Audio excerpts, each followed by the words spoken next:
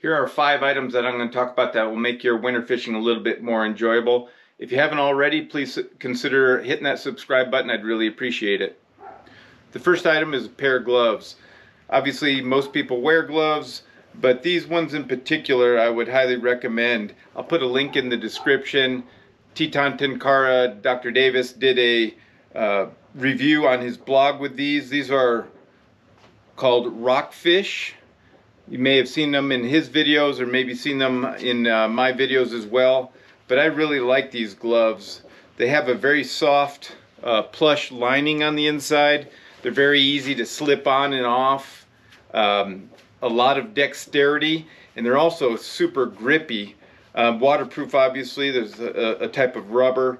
Uh, I've used neoprene gloves in the past and never found anything that I liked uh, as far as a compromise between fit and mobility. Uh, but with them being extra grippy, it also helps actually to take your rod uh, apart because you can grip the the rod really well with the with these gloves. So highly recommend these gloves. They're actually very, very reasonably priced as well. The second tip I would make is to go long.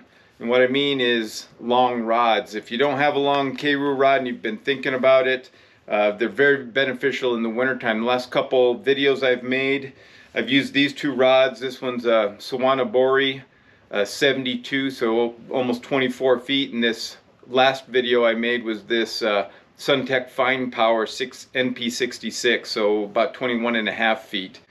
In both cases, I was able to stand on the shelf ice and not even have to get in the water in probably, you know, 10 to 15 foot uh, shelf of ice and be able to reach out into the channel where I need to needed to be, obviously depending on the size of the water you're in and, and where you're at. But being uh, uh, ha having a long rod can really be helpful. The third item I would recommend is this little bugger, and this is the Ketchum Release tool.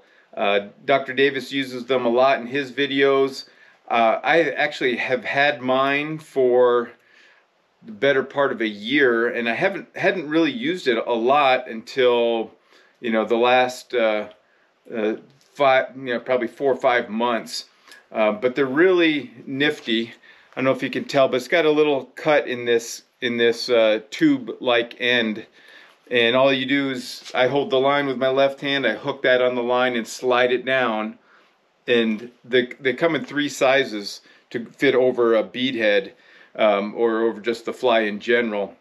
This is the standard version and it works for beads up to about 3.6. If you go bigger than that, you might want to, you know, a, larger foam flies and things like that, you might want to go uh, longer.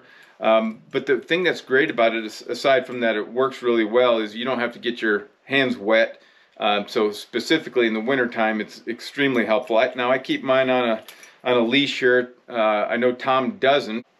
And with him using those gloves, he's able to uh, you know handle it uh, without fear of dropping it although I'm I'm chicken and they're not really particularly cheap I think when I got mine it was just under 20 bucks so um, I know I was hesitant initially but uh, I'm a real fan of them and it will help keep your hands dry and also uh, keep the fish in the water. The next item I had mentioned in a video as far as wiping down your rod before you collapse it. Prevent getting dirt and grime and everything in your rod um, when you collapse it, causing scratches and stuck, uh, you know, pieces, joints, and things like that. So um, having a rag, though, in the wintertime is especially helpful. Uh, what I like to do is when I'm wearing waders, I can just keep it down in my wader, top of my waders. And this, this idea wasn't mine. I saw it on a video from uh, Kelly Galloup of the Slide Inn over on uh, by Ennis on the uh, Madison real famous uh, tyer and, and, fisherman, but I saw this in one of his videos. Um, so after he, he doesn't typically wear gloves, um, so after he handles the fish or gets wet, and of course he's, you know, if you, are using line, you're getting your hands wet, but just drying your hands off um, will, even when it's cold, will really help uh, be able to handle the colder weather. The last tip I'll mention, and I saw this uh, recently, made me think of it on a uh, Tenkara a Facebook group where they had a had a picture of a frozen line, and this little stuff here, Stanley's Ice Off Paste, it's called, made by Loon, is really uh, kind of a neat deal. Um, it just looks like, uh, you know, like if you're greasing your line for, uh, you know, floatant or something like that. But it really prevents uh, your ice from, uh, your line from freezing up and getting ice on it. I, I used to use it uh, as well with a rod and reel to keep the, the guides um, from icing up. And obviously you're laying line in the water in those cases.